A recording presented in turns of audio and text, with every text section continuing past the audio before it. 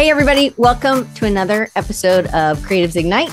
And I am excited because last time that I did this with Amarilys, it was Design Recharge. So we've, we, me, and my dog have rebranded, and we are now uh, Creatives Ignite all the time. So Amarilys was one of our camp speakers back in 2021. She was awesome. She has done so much. She kind of wrapped up. She wrote me an email with the things that all the things that she's done.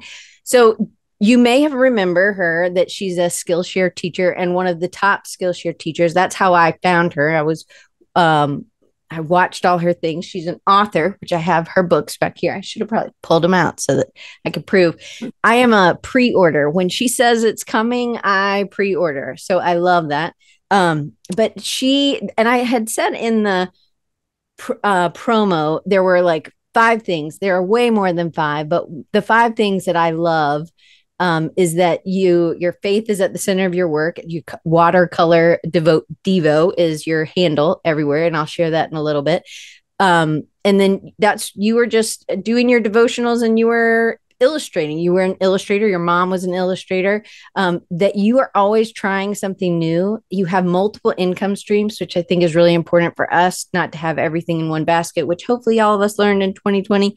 Um, but the other thing is that you don't give up, that you're always exploring, it seems like you're always exploring and experimenting, but you take us on um, the journey with you and then you share what you know. You're easy to talk to and relate to. And those are some of the things that I love about you. So I'm really excited. You're always teaching me something on Skillshare or on in your community. So I'm sure I left some things out. Do you want to fill in on anything? Please. Gee whiz. Thank you. Thank you. From where you were in the past to where you are now, you had you've been on the show and you talked about Surtex, Surtex, and then since then you went to Blueprint and Surtex again, right? Mm-hmm. Surtex, with an X with like textiles, I guess. Yeah. Right? yeah. Surface design and textiles. There you go. Perfect. Okay. So tell them um because then you've had i think multiple books come out since then? I've i've written uh authored two books and have illustrated two books. At least yes.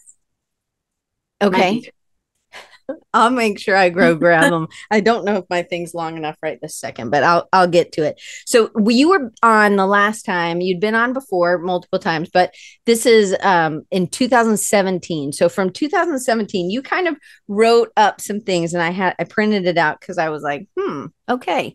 So you want to um do you want me to read these, or do you want to? You know, I mean, what's funny is I don't remember what I wrote. I just remember we had kind of a practice call and we talked about all the things, maybe not so much about what we would talk about today. So I was like, you know what? Let me just throw a bunch of bullet points at you. Bullet points is how I email. And I I threw out a lot of things that have happened since about that time. Okay, so I, five, right? Yeah. So I'm going to read them and then if there's something that you want to um, I'll ask you about them later, I guess. So 30 Skillshare classes total. You were on Skillshare, I think one of the first teachers that I can. It's uh, 2016. 2016. Okay. So then you have two how to books, Expressive Little Phrases and Expressive Little Animals, which I have both of them right over there. Um, two illustrated children's books, God's, uh, God's Christmas Promise pop up book and I'm a little lady. So those you didn't write, you just illustrated. Right. Okay. Correct. Um, I'm gonna ask you a question about that. So was that through? Um, did they find you through uh, agent or through one of these shows, or do you? Re- so uh, the the illustrated books. Um, is that what you're asking about? Yeah. Yeah. Yes. So God's Christmas Promise was a pop up lighted book, which I have behind me here. And it was done with Dayspring, which is the uh, faith division of Hallmark. Mm-hmm. And so um, I've done work with them before for surface design, but uh, this was my first illustrated book with them, and it's a gift book. The, Have you ever done a pop up? No, so technically it was a little challenging because you know it's a good thing I think in Photoshop layers because that's essentially what we have here. Each little panel is a layer, and they all need to cut out and carve into each other a little bit. So um, it was kind of challenging to make sure that you know one angel's hand wasn't slapping another behind him, or you know the the donkey wasn't covering someone up, or you know whatever that kind of a thing. But it was it was it's got I mean it's one of my favorite projects. But the way I met them was so long ago. It was with when I was with an agency. So I differentiate having an agent with being with an agency. Having an agent means you're part of maybe I don't know, 50 or less, three dozen artists that they represent. An agency, I say that because I, uh, it was a large, large um, site that represented artists. Uh, so I was one of hundreds of artists. And so I connected with Dayspring then. They basically just show your portfolio. It's kind of like iStock photo for art licensing. And I never I never really developed a relationship with them. They just saw something that they liked and we moved forward and and then uh, over time I actually left the agency and I had to take a year off from a, just a cooling off period. Uh, if I broke the contract, I had to just kind of keep quiet for a bit, built up the portfolio, and then went looking for them again. But really, I reconnected with them at Surtex in person. And that's when um, we had talked about a lot of different things. And a month or two later, we started talking about this book. So, what started out as a gift line and greeting cards, a calendar, and over the years became this book uh, for their yeah for their line of, of gift books for christmas i think it's still available if you look it up cool okay so then um, you launched a Spoonflower shop, which we'll tell people about just in case they don't know what that is. But that's pretty big. Like you have fabric over there behind you. You have new, yeah. like you have, I can't even remember what the bolts. They're called bolts, right? Bolts of fabric yes. behind you, whole yes. bolts. But then you've also done a gift wrap. There's been um, other things. So, but Spoonflower does more than just fabric. Uh, they may have mm-hmm. started mm-hmm. with fabric. I believe they're in North Carolina. Um, but now they do lots of things. And I went on there and I, uh, I think it's cool. It's, I'm going to ask you a couple questions about that. So that's interesting. And that's kind of on your own. Um, it's not so like what you did with Dayspring. Um, you pulled out, you have that year off, you can't work for them, or it would break the contract that you had with the agency. Usually is how those work or you have some sort of time frame. Um so then spoonflower i could buy a bolt of fabric of yours if i wanted to right today right? Yeah. Because yeah. Yeah. So okay. So what's holding um, you back then i know i know. I um i could I, do that i could i should do that um so then you did spring trade shows which i think some of them went online for during COVID, and I wasn't sure if you had any, but I wanted to hear kind of your insights, which I'll get to. I'm just finishing this list. So Surtec in Surtex. I don't know why I call it wrong. Anyway, whatever. They're not watching. 2018 and then Blueprint, which is another one in mm-hmm. 2019. It's just a different it's like when I looked Surtex was $3,000 and Blueprint was $2,000. So it didn't look like it was that much of a difference in price, really. But I don't know where Blueprint was. Where was that one? Uh, it was different every year, just basically checking out different warehouses and or banquet halls. So um, I can't tell you where it was. I'm not that familiar with New York. I would just kind of no, but it was New York. That that's that's all. That's all. I uh, didn't know if it was like in Portland or you know another location. Okay, so it's in New York, and now um you you did go to the recently. You went to the Atlanta Mart. Gift Mart. Gift Mart. Mm-hmm. Yeah, I knew because I grew up in Atlanta, so I not that I ever went, but I did hear you hear about those things, I guess. Um, and then you've spoken at Alt Summit in 2020, and you went back to SCAD and you spoke in 2023, which was, it, I guess, just last month. Yeah, yeah. Um, and then Watercolor Bold is the membership that you started. So in now you have this ongoing, you're teaching things on a regular basis. And I love that. I've been in it since it began. Um, the Artist Pro Method is an annual course that you've offered in the spring. Was is it always in the spring? Yes, it'll it'll ramp up uh, April first. Uh, okay, cool. Okay, you don't ever worry about doing something on April first.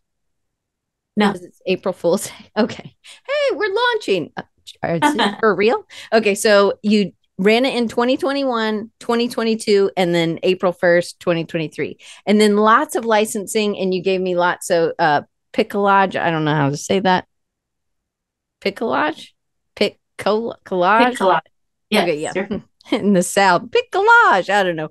Papyrus, Design House, Greetings, and Trader Joe's. So you have some cards in trade, which those look like they're sort of poppy uppy also.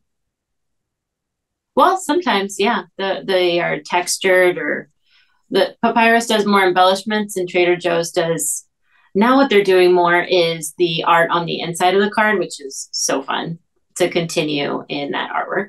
But that's yeah. cool. And then you launched a YouTube channel, which I was really excited for, and I actually tagged you in one of the my posts today on YouTube. I was like, oh, because now I can tag you from the, anyway. nobody's seen it, so you guys should go to YouTube and check it out. But I will share all these. You hadn't sent me the YouTube, but I went ahead and grabbed it, so I have it to share. Um, so uh, now I'm going to dive into some of these questions. What is the biggest change? And you gave me two, like teaching and then um, in art licensing. But when you wrote mm-hmm. these uh, ideas down, but what is the thing that's changed the most since 2017? I, I mean, in general, I would say that I've really gotten a lot clearer on what I have to serve. Skillshare has been a great place for me to throw out classes that are just like, hey, I'm excited about this. Let me show you. Hey, I'm excited about this. Let me show you. And and there wasn't necessarily a lot of continuity or strategy, uh, just a lot of heart. And through that, I learned what it was that people were reacting to the most and what it was that people needed the most. It's in terms of teaching watercolor. Uh, so I would say that that helped me understand. Then when I created watercolor bold, the heart of bold is is that like the the approach to the paper to jump in and to experiment and you know you hear this all the time do it for the process trust the process do it um yeah do it for the fun of it have fun. People can see the joy in your work. But how do you actually approach the page and do that consistently and also grow in skill? Not just tutorial based right. how to paint a pig step by step. And now my pig looks exactly like yours. And you know there's there's like a, a loss of a sense of pride in that. So i was excited to kind of take those things that i learned and create my own thing. With art licensing i would say it was a very similar process. When i started in art licensing i was so aware of what's cool what do people like? I'd go to the store and pick something up and be like oh i could have done that and get frustrated. But that's not what it's all about. It's it's that that person did that cactus repeat and that's their thing. That's they they brought their own style their own flavor to it and as i've grown as an artist and in knowing myself altogether i have felt so much freedom in creating whatever i want and making that my portfolio whatever you put into your portfolio whatever you show the world that you create you're just going to generate more work like that and so at first, where I was mimicking what I thought people wanted. I ended up getting those jobs, but it wasn't what I wanted. It was more of what I think people want instead of living the lifestyle that I wanted to have of creating artwork and enjoying it and and then getting paid for it. I mean, that's the dream, right? Yeah. So I would say that that's been the biggest difference. You went through a lot of like the concrete steps that I sent you, a lot of the, you know, highlights of, of the last few years. But I think it comes down to honing in on what it is that I call my craft, what I have to serve with, and taking on that that attitude of service instead of boasting and copying and trying to be cool. And it's so much more fun and so much more rewarding because uh, there's so much to gain by being genuine online because there's just not a ton of that going around. Yeah. Well, it feels like uh, you're equipping the people who are taking your classes with skills that they can use in other things instead of just replicating exactly what this thing is which i think you know sometimes in the beginning when we're learning we do need to replicate. I still need to work on my flowers.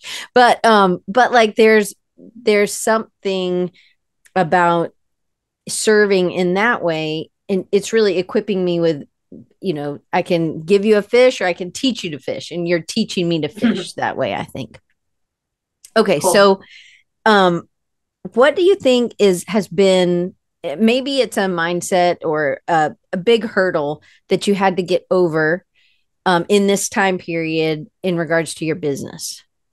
Well, like anyone else who would talk about the last five years, COVID was a thing and it affected everything.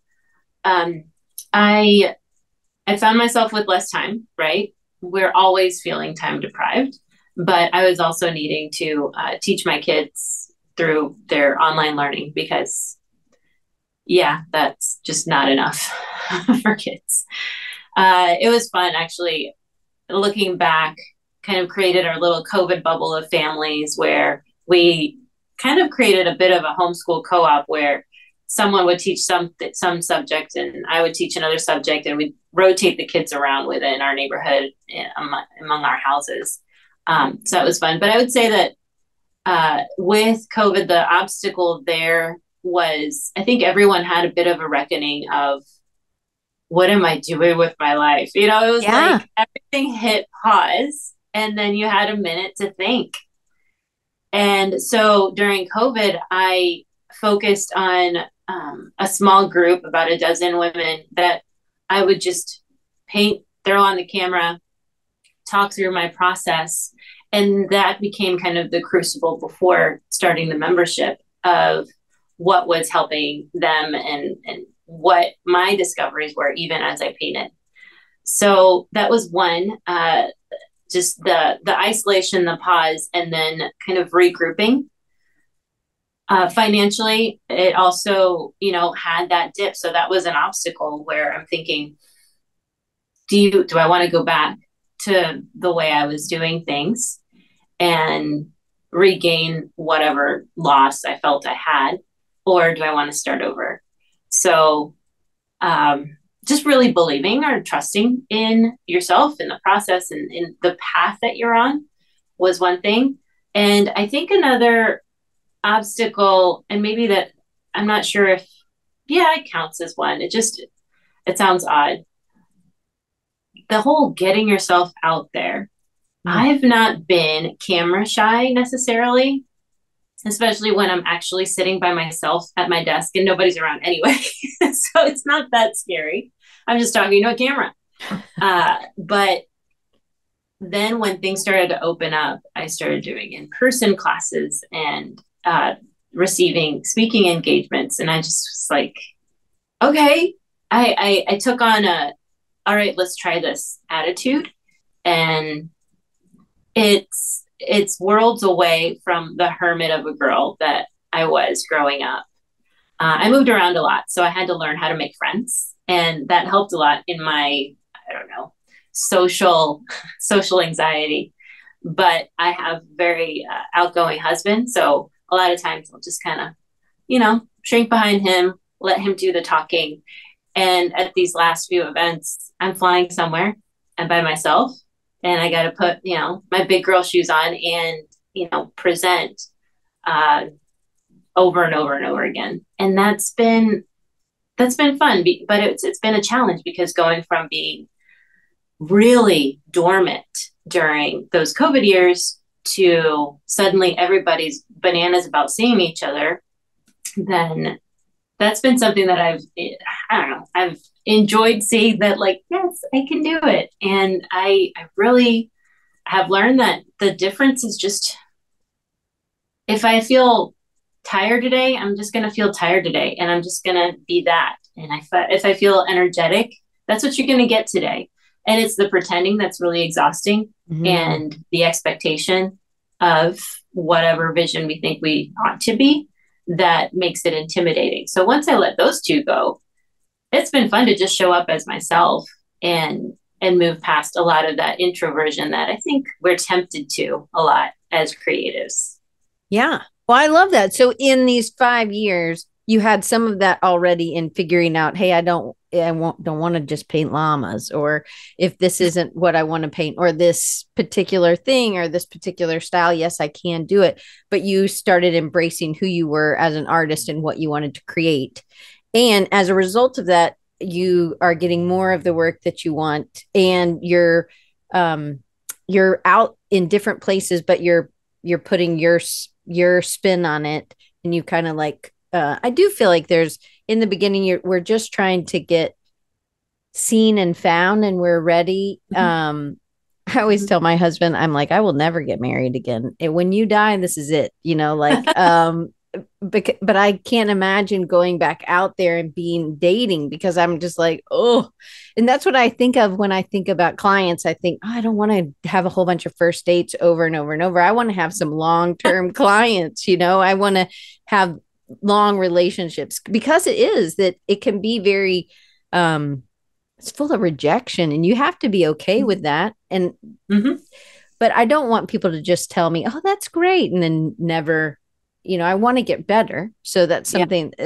that um i think you've found that piece and now you actually are helping people figure that out on their own as well which i love um, i think it's important to remember though that you will you'll never stop pitching like you'll never stop dating around if I'm going to like continue the analogy. Just because um I see now I like I am so addicted to metaphors that now I'm like because one isn't gonna fulfill you completely. You have to that's terrible. It's terrible. Um but one and, friend and, might not be able to fulfill you. So if you're, you know, yes, like yes, okay, so we'll friend. Yeah. That's good. friend dating.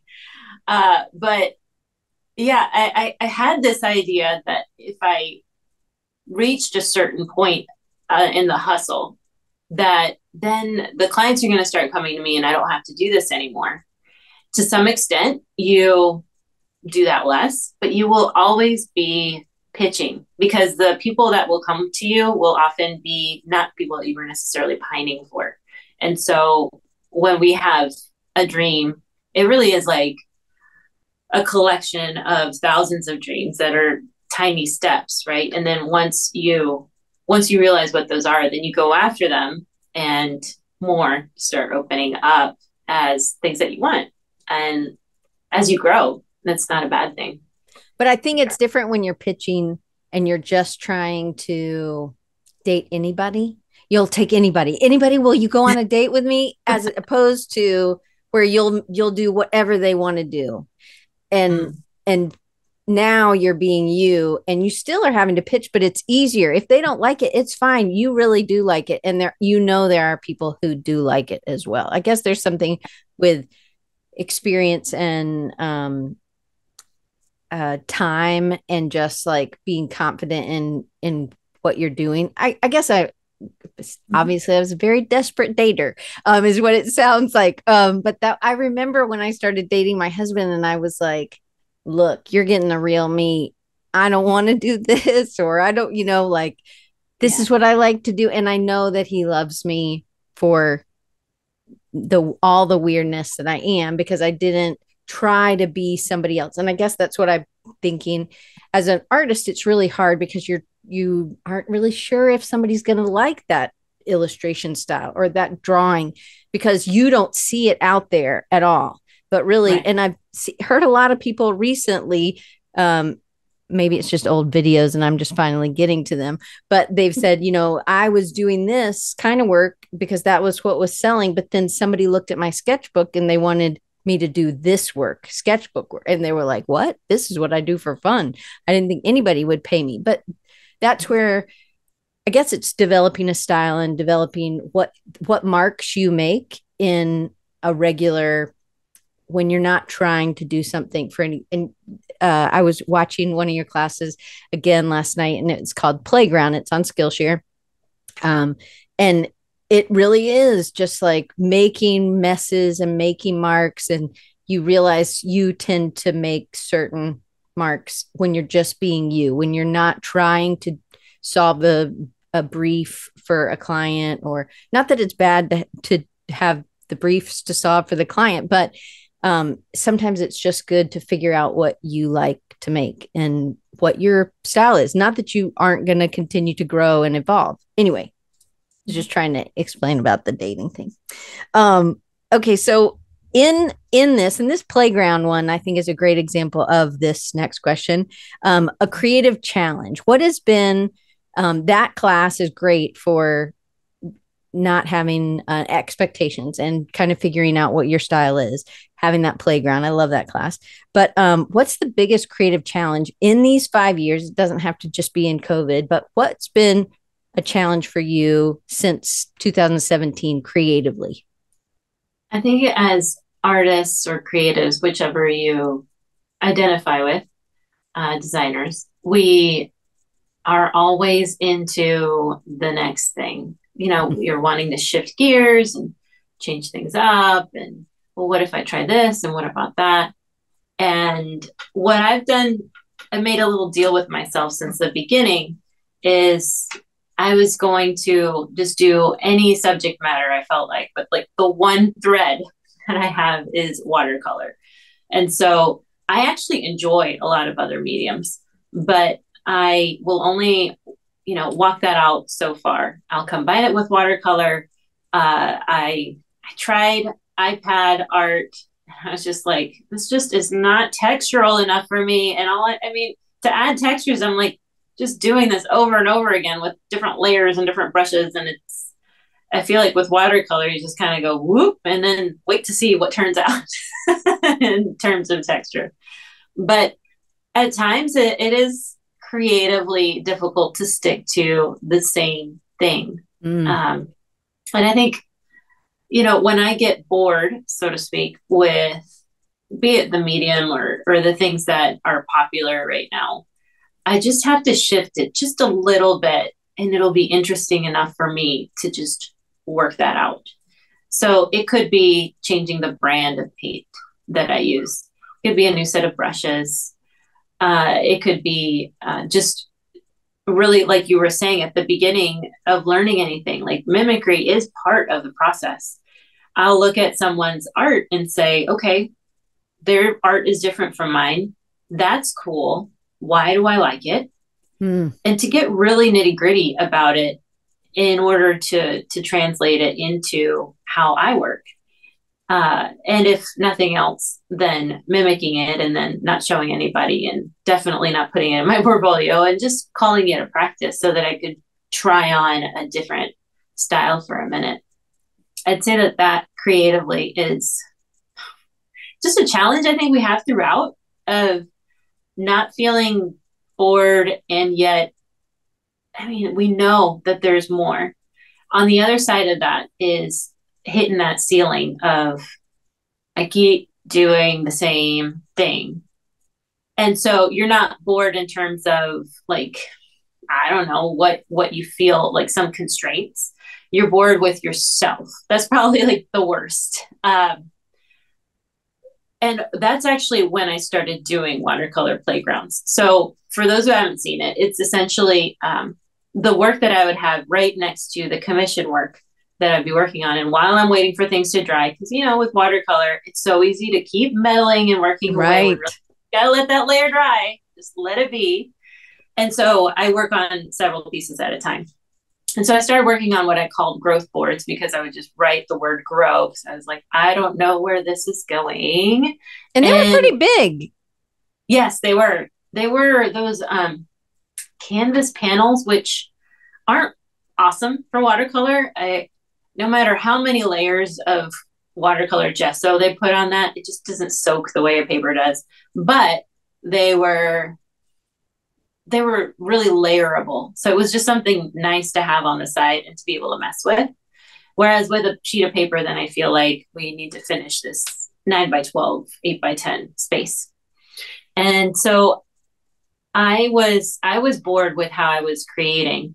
Uh, I was still getting paid for it, so I was still doing the work, and side by side, I was also doing whatever I could think of, even if I thought it was going to be ugly. And that's when I started to discover what it is to play intuitively. I never did um, non objective or abstract things before uh, doing these playgrounds. And that's why I called them that because I would just, that was like my 11 by 16 space to play in with watercolor. And it was essentially, it's always the same process, right? You start off with like a mess and then you you try to reel it in a little bit create some shapes and make some bodies of things and you start noticing this is kind of a patch that I could do this little pattern in, or let's bring out some more details here. Let's take out the markers and work on top of that. And and as I realized what I was doing, it kind of became this pretty straightforward path of, oh, okay, those are the steps. Now I know how to do this when I need to just break that ceiling.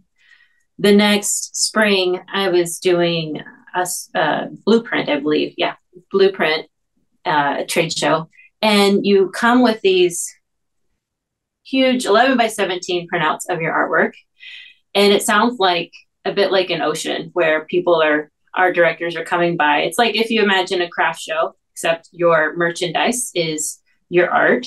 So they are swooping from one page to another, flipping, and then they'll say, We like this one, pull this one out and you create a little stack for that client, get their email address, send them a PDF for them to further review with their team. And I needed more merchandise. So I started scanning those those paintings. I didn't really think that they would work. Maybe as like, you know, if they were blown out like on a background of a notebook, you know, something really fun and splashy. And I was really surprised that they were a hit and the companies that were interested in them were like greeting cards that were fairly literal and fabric, which I would not think to repeat. You know, you think of little floral mm-hmm. motifs or, you know, just deer, reindeer. I don't know. Like you think of like icons uh, mm-hmm. when it comes to gift wrap and and fabric. But they look at these pieces that, you know, sometimes a face would pop up in one and, and a lot of times the surface design that just kind of rules it out right there. But uh, they they had a different essence to them like you were saying and and they were noticed. And so that's how i felt that i realized not only like did banging up against the wall and feeling like i wasn't growing turn into growth but it actually turned the corner on the kind of artwork that i was creating and artwork that i would enjoy so whenever I feel myself hit the ceiling again with, here I go again with this same thing, uh, I, I remind myself because I've had this experience that there's something on the other side of this and I absolutely have to push through it. If I if I get bored with myself and with my own work, um, I'm really going to be in trouble. So I have to push through it because you have to be your greatest advocate. So, how am I going to get excited for my work again? I'm going to have to figure out a way to enjoy it again. And then the quality of the work will follow. That's cool. That's a really uh, insightful. And I love that you maybe didn't have the expectations of it because it didn't fit what you thought um, this would be for a textile pattern or for a repeat. It wasn't, and this is where I think when we go somewhere and we show our work um, to somebody who is in the business and knows it backwards and forwards, isn't making art. They are seeing what things and they see something that's going to be different and they see something in this that they are not seeing because everybody is trying to do these clear repeats or right. Anyway i just i love that. And that's a super gives me hope. That's a really hopeful um thing. Okay so this might be a super stupid question um but i like it, it as it goes with what you have to be your I advocate. Okay well okay well here's the i think i know the answer. You're a mom and you have a business and you have a husband and anyway do you struggle with time management? Yeah. But just like normal people. exactly. Okay, so then um you just talked about this about being your biggest advocate. This is one uh, area that I struggle with. Um so marketing yourself um have you ever struggled with that like just putting and having to sell your thing over and over you're like oh my gosh these people are going to unsubscribe because i'm telling them about my community again this week right yeah. or whatever yeah how how do you get over that i i think we feel awkward because we are putting like it's it's like we think we're elevating ourselves and going here i am here i am. Everybody look at me. Check this out. Please please please. But and and that is it doesn't it smells foul. Like nobody wants to look at that guy. Um that but, is what it feels like. Uh what what i have found to be the difference is i i listen to the this sounds so dumb i listen to the people that like me a lot because i need their their voice in my head for one, it made me feel more comfortable that okay, I'm I'm talking to you. I'm talking to you, Shelly. You're a fan. I'm going to talk to you. I'm going to talk to you, Diane. Like I'm going to pretend that I'm talking to you and only you. So that's one part of it. But another aspect was uh, when people comment on your work and the things that they notice and they like. Like, how often are you just genuinely surprised at what they pick up on? Because you your mind was somewhere else, or you were maybe going straight to the negative of, yeah, but have you seen this train wreck of a spot over here? But they are not. They are looking at overall, or they resonated with something. And so the more that I put on this attitude of, I'm going to talk to that person and I'm going to try to help them in some way. I, I send out weekly emails called Tip Tuesdays. Mm-hmm. The reason those. why I send out weekly emails is because I started monthly and then I just forget and uh, I just felt guilty for not doing the thing. And then it felt just awkward. Do I just say, hey, it's me again? so I, I literally just had to make myself do it weekly. I wanted it to be like a memorable, you know, thing for me and and whoever would be receiving it. So in those tip Tuesdays, uh, unlike so part of the tension is I didn't want to be a tutorial girl where it's like learn how to do this three steps to do that. Now we're going to do this because it's really exhausting and it's not connection. Like yes you you do get to show somebody how to do something and there's a connection in that they get a win and you are part of that win. Like that is great but on a regular basis, I just don't want what I do to be only like, well, what are we going to do next? And what are you going to teach me? How, how do I do this? You know, like I, very I passive to, from the, from the participant. Yeah. yeah. Yeah. I wanted to actually connect. And so, um, I, I call them tip Tuesdays, but we don't always, sometimes the tip isn't, you know, sometimes it is a tutorial. Sometimes it's, I figured out how to use this brush in a different way. Check it out. Uh, making palm trees with a flat brush is so fun. You should try it sometime. Or maybe it's uh, kind of tackling those limiting beliefs that we all have and trying to flip them on their heads. Uh, those are the ones that actually get the most responses from because you know it's it's hitting a chord somewhere. And yet I feel a little awkward because I'm like, I'm no coach or counselor or whatever title I'm supposed to have, but it's just what I'm sharing today. It's just my tip. Like, take it or leave it. Doesn't matter if you like it or not. Um, but the uh, the time management is that the original question? Is that what we were talking it was about? Both. It was uh, do you struggle with time management? And then the next part of that question was do you struggle with marketing yourself? Oh, marketing. Thank you. Okay. Mm-hmm. Yes, marketing. You're like, that. I got time management. Yes, um, I have a problem with that. The end. Go to the next question. That's okay. yeah. So um, basically, shifting the focus off yourself, even though in the end you're directing them to something that you've done. It's it's it's just like I mean we do that in conversation all the time, right? Maybe I want to tell you about my vacation, so I ask you. So how was how was your weekend?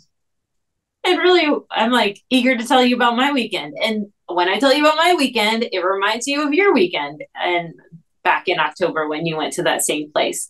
And that's how you get the conversation going. So with the hmm. marketing, yes, I am constantly not thinking about what it is that I have that, oh, I, I think you should check this out. Will you please? But not thinking about the thing, but thinking about the person that I'm talking to. I can say that with time management, um, having the Tip Tuesdays puts me in a mindset of like talking to my audience, so to speak. And so that helps me clump together other tasks that are similar. So I'll start cleaning out the email list, I'll look at the website, I'll do social media.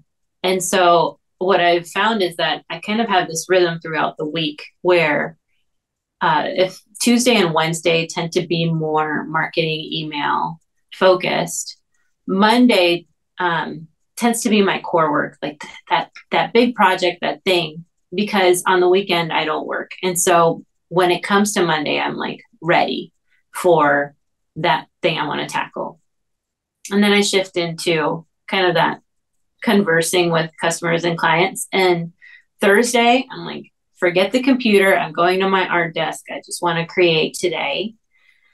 Friday's kind of a catch-all day. We we just see how it goes. Uh, it's usually all the things that didn't get done during the week, and that could be in anything. But um, like it could still be taxes. It could still be taxes. I, I, don't even get me started. That's what I was working on before we got on today. But I'm working on it. It's spring break, you know. Got to do the fun stuff during oh. spring break. Anyway, it's good. So when you're um, struggling with being sick of whatever watercolor that you have, how do you go about um, finding or searching new um, brushes or new brands of watercolor or like how do you go about learning new ways or new skills or new ways to even if it's like your email right? Like i think me and you both use the same email thingy mm-hmm. still. Um mm-hmm. and or whatever they're, they're called. Anyway sounds not very professional. I can't even remember. I mean i know provider email provider whatever yes um but it's like how do you go about finding something uh like when you decided like when did you decide to go do YouTube? Like, I mean, YouTube's been around, but when did you like start a YouTube? What was it? Because that's a new skill to some extent, right? Yeah. Yeah. I, you know, sadly, I I think of doing things for months and years, and then one day I'm just like, I got to do that thing, as if I had not ever thought about it. I don't think I really have a very professional process in that sense, but uh, it just was one of those moments where I'm like, what am I doing? Like, I do video. Why am I not on YouTube? Well, I think of my kids watching YouTube, and I I talk Your bad mom. about YouTubers a lot, actually. I don't I don't want to be one of them, but you know, obviously, like that's the medium. That's what I do. Why am I not on there? and uh, then I started. I think it's the community, uh, meeting other artists and hearing about, hey, I'm trying this out, and so I've I have a network of people around me that are all doing something different, and so really the the limitation or the limitation I have to put on myself is to not do all the things because ooh that sounds like fun and ooh that sounds like a good idea, but um, I I'm around a lot of, I just chat. I chat with a lot of uh, other artists and women that's mostly women, all women, who really work at growing and we feed off each other. Um, I don't think it was necessarily like an intentional move, but it's been a huge shift. And again, like going online so much, uh, that's in terms of our relationships. Um, has made that be more prominent for me where I'm on Telegram half the time just chatting because it feels like I'm in like a co-working space. It's it's pretty fun. So when I have a have trouble with Flodesk uh, or whatever, then I have someone I can ask like, "Hey, how do you do this or that?" And then we start talking about other things that we're doing. Oh, I'm starting an Instagram challenge.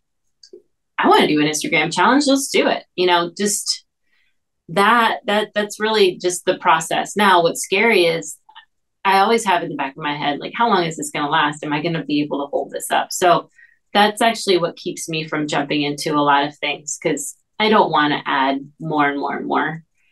Uh, I want to try things out and I want to be playful about it, but um, yeah, I I am very much in a season of let's shed all the little things that just keep getting on the list that aren't really moving the needle forward or making me feel excited anymore.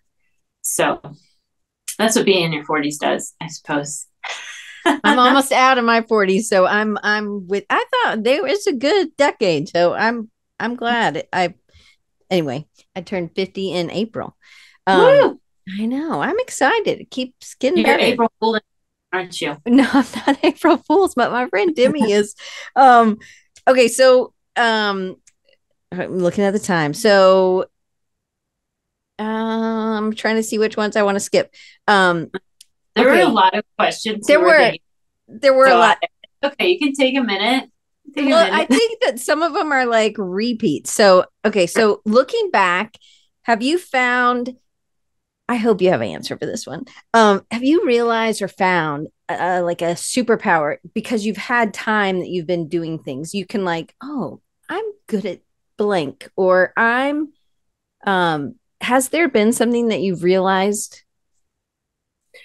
so I feel like I can answer that question in different ways. Are we talking about like You can art, however, business, personal? any of them. Okay, Okay. answer it for art, and then I'll Okay. ask you about another one. Oh, okay. Okay, we'll do more than one. Cool. Um, with art, you know, people say I'm really good at color, but it's I kind of feel like I just stick to the same ones and then just wiggle a little bit from well, you know, left to right. But uh, I would say that I am good at one of my superpowers is in letting it be what it is I think a, a big reason why people join Watercolor Bold is because they want to have a voice in their head similar to mine that says, oh, well, that didn't turn out the way I wanted to. All right. And we move on and we keep going. I think that that's odd of me and likely refreshing to someone who's feeling like, oh, I'm so I'm struggling. But I really, really believe that whatever comes out was meant to be my initial idea of what this piece was supposed to look like is not the end all be all. So many times we live our life thinking we know exactly what the right move is, and we don't get to do that move. And we had five other ones that ended up being better. So I don't, as much as I trust my my intuition or my gut, I also really trust that it is what it's meant to be in the end.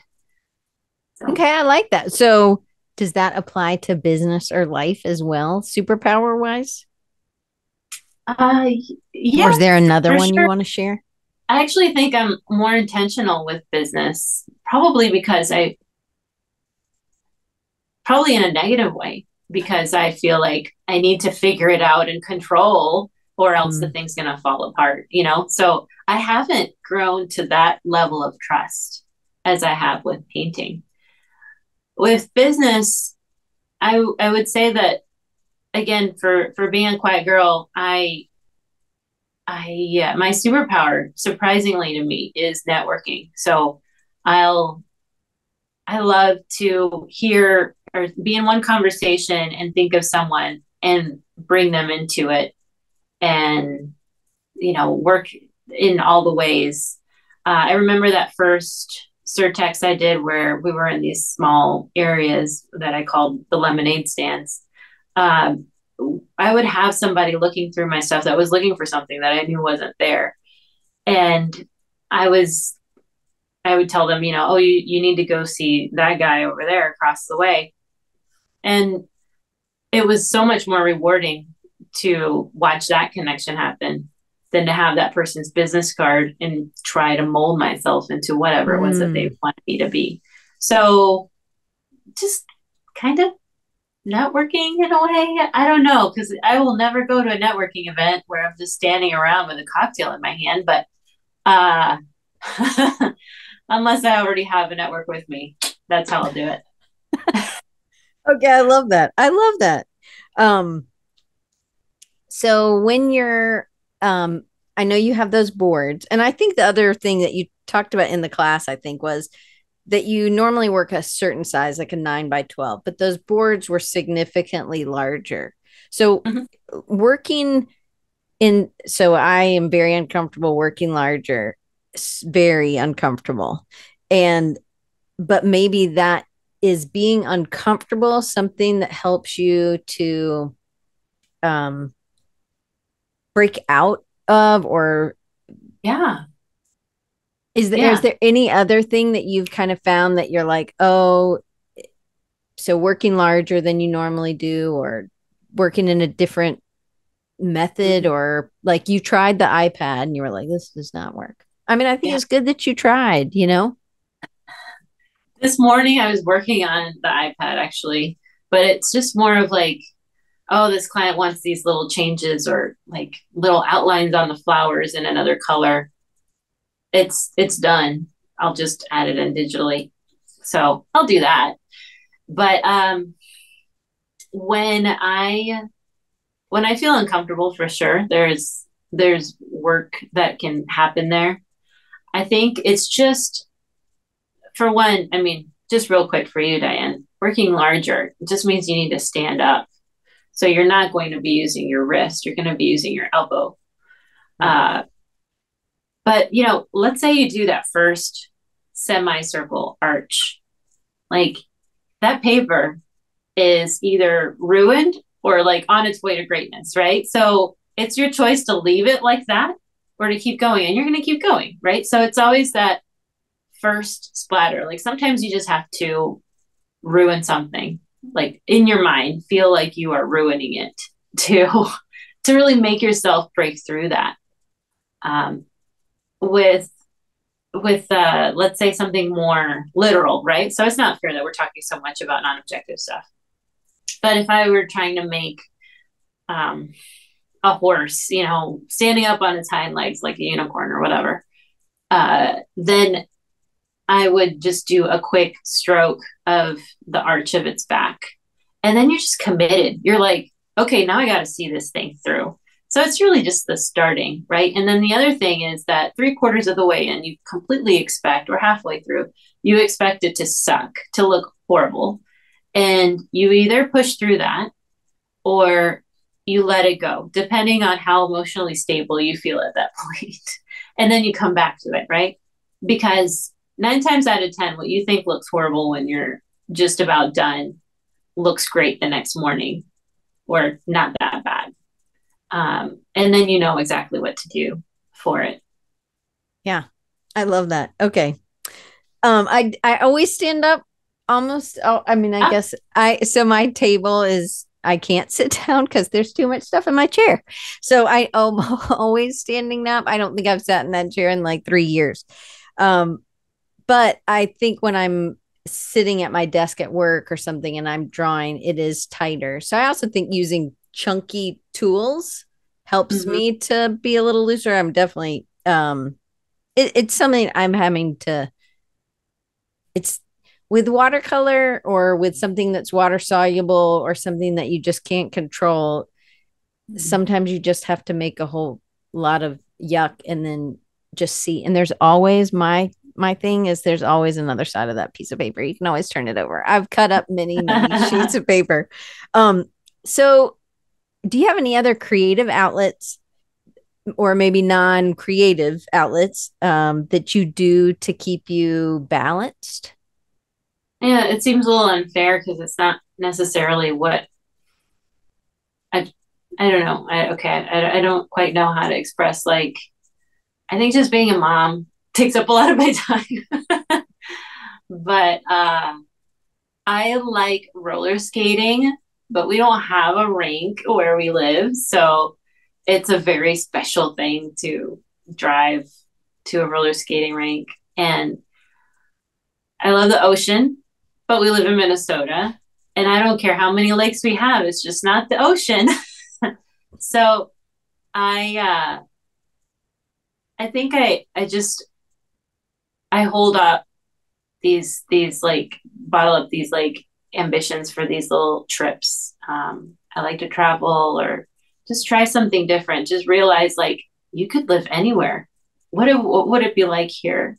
So that's one thing. But something that I've noticed as a thread is that a lot of the things that I enjoy as outlets, including artistic ones, are ones that make me feel like a kid again. Mm. That remind me of, you know, young Amarilys. And so roller skating with, you know, disco balls, which I have a few of in here, and and rainbows and Rainbow Brite and all those things. Like all those things really do feed me. Uh, the ocean does because it's it's a memory for me. I'm Puerto Rican and and the ocean's just a big deal. It's just a big part of that. So if if I ever wonder what to do to kind of ignite that creativity again, I have to think about what I did as a kid and I'll probably get somewhere close in the ballpark. Okay, I love that. Um, and that's good to know about roller skating. I always thought my parents didn't love me because we didn't have a trampoline. So when I was 30, I taught an extra class and I made $100, $120. And that's what a trampoline cost at that point. And I got a trampoline and I was 30 and it was the best. Nice. I still love it's dead. You know, they don't live forever. Um, yeah. okay. So I want to ask you about Spoonflower. So what was, what was the holdup for you getting on Spoonflower, Spoonflower before? and or was it just not made that way like is that something new that they offered yeah i i started creating patterns and i wasn't very good at it for a while so that's part of it but i i did ha- or i have a company okay I, I had a company that i licensed my designs to um, I've since gone with a, a different company, which I'm excited about. But at any rate, when I started noticing all the designs they weren't selecting, I was kind of like, hmm, I want these to live mm. somewhere, you know? So I just made a home for them on Spoonflower. And I, I better understood through that licensing partner what a collection is and how how things sell together, how they need to match together, particularly for quilting or coordinating for oh, just about anything that you sew, you're going to need more than one piece of fabric, one design. And and so it became my little place to mess around with those ideas. I was, I met um, who was the community director at that time from Spoonflower at a trade show. And she said, you know, they were just going to every single table, to be honest and saying you should put your stuff on Spoonflower, you should put your stuff on Spoonflower because they want to have better uh, talent pool in there. And I didn't feel ready, but when I did, I did finally email her and asked if there was like basically any benefit to knowing her, having her email address. Like, is there anything you can help me with? Like, any tips or ideas? And she directed me to a couple of places, but she also said that she would uh, bump me into artist or designer status, which means that you can start selling on Spoonflower. So if you are able to approach and then validate that, hey, you know, I'm not just putzing around and throwing things out there to see how it works. Like I, I have some designs. Uh, there is there's no harm in directly contacting someone. I often, and I can think of at least a handful of times where I started a project and I had a client in mind, but I didn't have a relationship with them. And then I just went on their website and hit the contact form. It's someone's job to direct contact form emails to the right person. So it's not going nowhere. There's no guarantee you'll hear back. But I've been surprised that I have heard back a lot of the times when I throw out an artist submission or even a hey, do you collaborate with artists? I'm having this workshop and I'd love to know if you would be interested in being a sponsor. I mean, just making that ask uh, has been so huge. uh, and it doesn't get old. Like it, it's a useful tip no matter where you're at or what you're trying to do. And that's a bit how it happened with Spoonflower as well. I would also suggest that if starting a Spoonflower shop, to start with a splash, to not just do uh, a few designs. Um, with Etsy, I would say it's actually the opposite. I think with Etsy, doing one listing and perfecting all those tags and links and making sure that it's um, performing well, and then using that listing over and over again and changing it up as needed is a better strategy there. But with Spoonflower, it's all about like seeing the collection, the assortment that goes together. So then the more you put up after you've gotten to that status, then you're able to use that as a um, you give first dibs to whoever you're licensing with. And then if they don't pick something, then you can make additional um, patterns for to flush out the rest of that collection that you're mm-hmm. going to put on Spoonflower. I love that.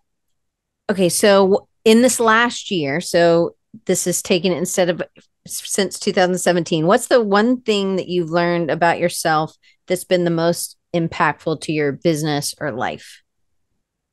I got a lot more black and white about finances and what's going to keep moving my business forward.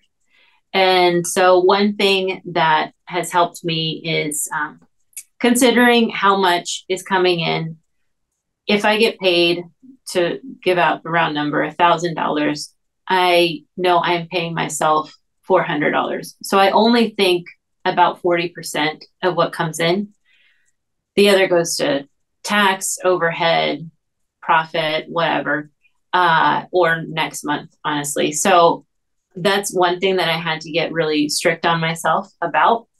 Another thing that uh, has I've grown in this year or the last couple of years really has been annual planning. But I feel like this year I've really I'm I'm getting it a lot more. I, I like Trello if you are any other Trello fans, uh, because I can see in a line January, February, March every month stacked up together. And I will even uh, color code different things and put them on the calendar that way. So I put in, you know, our family events and vacations. So I I see them spaced out. And then I put in my money makers. You know, like if this is going to happen this month, you know, and and I have them grouped together or whatever, then that's going to be a problem. Like I need to continue, and I also need to not get exhausted, and I also not need to exhaust the people who uh, are patrons. So what what can I do in this time of the year that will help get me through the next three months or so and spacing those out. And it's been really beneficial for like even accepting engagements like this. And I, I know like this month I have this variety of things and next month I'll have more time, um, etc. And like I said, I really enjoy color coding things because being that I have different streams of income and it's not I don't want to be just in one lane for too long. I actually like jumping around lanes. So I can see, okay, if licensing is pink on my Trello board, then I can see it peppered through and I can see the deadlines for the fabric collections that I need to create. And so I not only see that, you know, m- the business is staying afloat, but that my creativity is also staying afloat and I'm not exhausted by um, setting up the shop for Christmas or whatever, you know, those right. things that really burn us out. Like I am so against burnout that I will, I'll plan to death just trying to avoid that um, because I've been there and, and it's really hard to dig yourself out of it.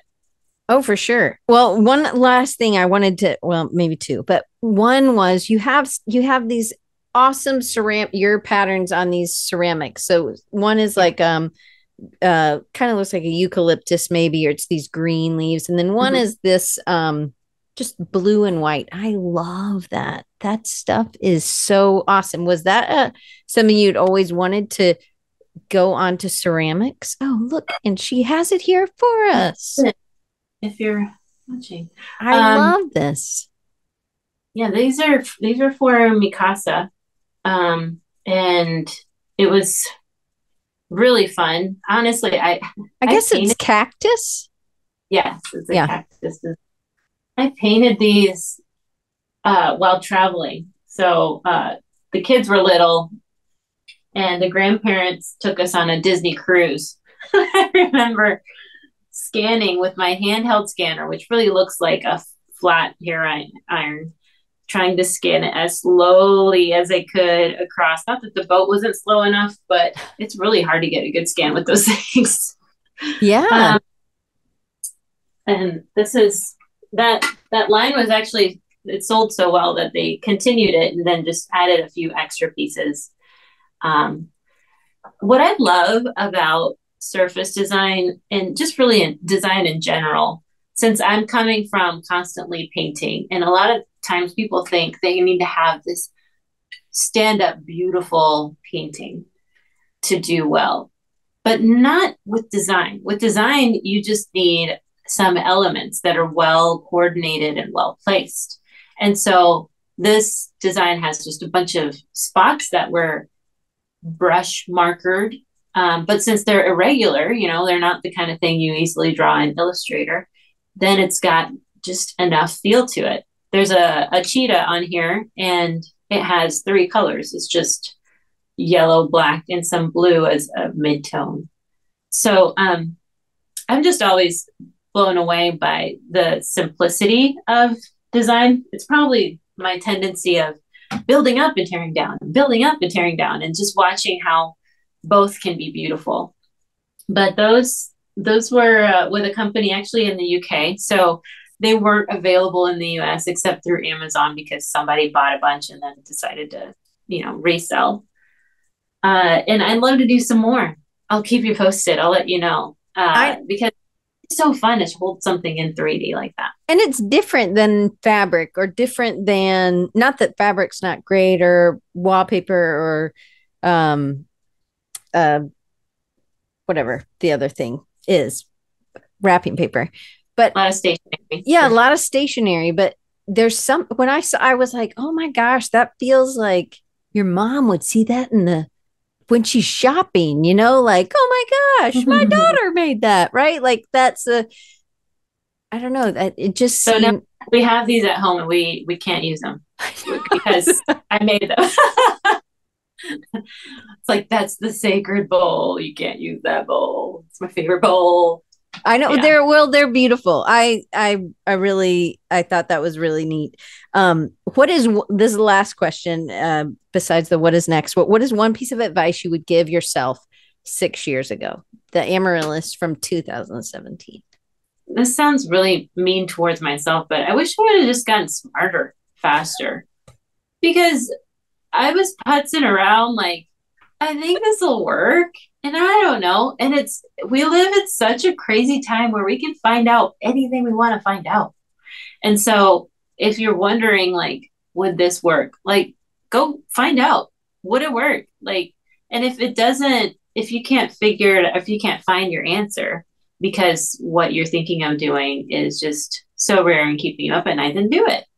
I think I, I just spent so much time like watching other people and trying to piece together the crumbs after their trails and mm. and thinking okay if i just if i just gather the right the right bits of knowledge from looking at what they're doing then i'll be in a good spot.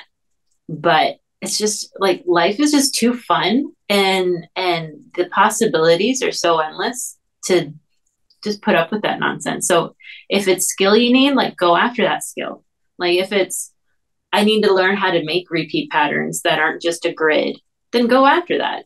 And and then that will lead you to the next thing. Or if it's you know, inspiration you need, if you need to really understand who you are and what what you have to offer the world, like you're not going to get that by scrolling Instagram. So we just we have these things that we need to fix, patch up, move forward in, and we tend to not really address them and just waiting, like hope marketing, right? Hoping that someone will discover me and and lead the way. Yeah. I actually watched. uh I didn't get to finish it. Uh, La La Land last night again because I, I was on a plane and um, that's a really long movie. But anyway, the the opening song is about like someone discovering me. Uh, kind of they're like in a in a traffic jam and they're like maybe this time somebody will will find me, find my talent. And I remember thinking like, oh, I am so glad I don't live like that anymore. Mm. Um, I feel like we have so much more control. Well, I know we have so much more control over the steps we take and our destiny, so to speak, or who we meet or what direction we're going in than we want to admit. I think we want to give somebody else the responsibility of like, I was never discovered, I was never found, or I never found the right spot. It's like you, you could. Um, and it's not going to be easy. I, I'm not meaning to make it super simplistic, but I was talking about the fabric companies. I enjoyed being with one fabric company for three years, and now I am with Moda, and it's one of the biggest names in quilting, and it's a huge difference. But I, I was trained for that opportunity, right? And you see that, you see that all the time looking back. So, um, I guess, yeah, I'd get out of my head. I'd want to tell myself to just stop, you know, mulling around and just, you know, decide on one thing that you want to move forward. And what do I need to do to to get to that point? So D ask a great a great question. Why did I say it like that? I have no idea. Anyway, um the link that's cute. the link to your fabric. So I put the link to your website, which is watercolordevo.com. Her Instagram Instagram is the same, and her YouTube is also at Watercolor Devo. So and you can actually well and on Spoon. Okay, great. I'll plop that one in. So, but but you can actually get to Spoonflower from your watercolordevo.com. I bet so you could. I think yeah. that's how I got there. Um, yeah. so but but you have products that you sell, you have um, links to Spoonflower, you have um, courses, there's you have this one hub, which is your website. And then you also have a way for people to sign up for the Tip Tuesday. And then there's mm-hmm. also something for uh, for a private showing, which sounds a little weird, but it doesn't for it, what we're talking about. Um, because that's how you're keeping some things you're not sharing everything so that somebody either mm-hmm. so that you're getting people who are in licensing are able to look at it and see it first which i think right. is really uh it's that's a i thought i thought that was a really nice call to action and it was very clear right yeah thanks that's yeah that's a, a private gallery for people who are our buyers and our directors that are licensing artwork uh, so you you have to kind of validate your credentials a little bit with me you know tell me who you are what company you're with and i'll spit you the the password to see more artwork. Yeah but i love that. I love that there's you have that and then it does kind of give you that extra layer of but it also helps the those people to know that you know what you're doing. So I hope you guys will sign up. Um, one last thing, you have the Artist Pro method, and I'm like the I never signed up for that because I was like pro. I'm definitely not a pro, right? So, so but yeah. pro stands for something else. So tell them about that because that's maybe one of the th- next things that's coming up. Um, tell sure. them what pro stands for. That's my annual course where you know around the year I'm talking about art and painting, and only once a year I talk about how I do my business work, um, particularly how I do licensing. And um, it could be really, or Etsy shop, it's, it's really the process of taking your artwork and making it a polished something to market. And we go through that over six plus weeks. But PRO is an acronym that stands for polish, repeat, output. So we polish the artwork so that it, I know so many times you photograph or you scan your art and you're just kind of like, meh. Uh, I have a few tricks for making it look great because my biggest thing is I don't want to spend all my time at the computer. I want to get back to painting or I want to get back to some other area of my business. And so I show how I do that quickly, especially the repeat patterns. I don't use um, the Photoshop plugin for creating patterns, pattern preview. Sometimes I will. It's not, I don't know. I, I like my method better. It's actually, I find it's faster. And I can also create half drop repeats just as easily, which are so much more dynamic. Um, and so I teach that in the spring. Like I said, it'll start in April. And uh, it's a live class. We have uh, guest speakers and art directors come in and talk to us. Um, and each week we do something different where we're cleaning up the artwork, we're creating re- the basic repeat. Now we're going to create a, a conglomeration of repeats. And now we're going to explore all the different ways that we can market our art, um, be it through licensing, business to business kind of deals, or straight to consumer. I love that. Well, I'm not afraid anymore. So you'll see me there this year. Um, Amarilys, just thank you so much. And you guys make sure you go. Uh, if you're watching on YouTube, all the links are right at the top. Um, if you're listening on whatever you get your podcast, all the links are right at the top in the description. I picked up some playgrounds because oh, I feel like we've yeah. talked about so much, but I need to head out myself. They're upside down, but um, my Moda fabrics aren't out yet. They'll be in December. And guess what they wanted to do? Playgrounds. So it's going to be a collection of playgrounds that, in a way, is just like my Lisa Frank dreams all come true. Ah, so that's excited. awesome. That is so awesome. I'm so excited for you. I can't wait to see what comes out in December. I will see you guys next week with Bethany Heck. And if you are interested in um, uh, volunteering at Creative South. I still have some volunteer tickets, which it's in uh, the end of March, March 29th, 30th or something. It's in Columbus, Georgia. And if you want to get the Blobs book is now available. Amarilys, I'm going to send you one. So just um, send me your text me no, your I'm, address. I'm going to buy it. I'm going to buy it. I'm going to find where Diane sells these things. I love it so much. Well, I would love to send you one. So, anyway, I will see you guys next week. Bethany Heck, Amarilys, thank you so much. And you guys have a great day.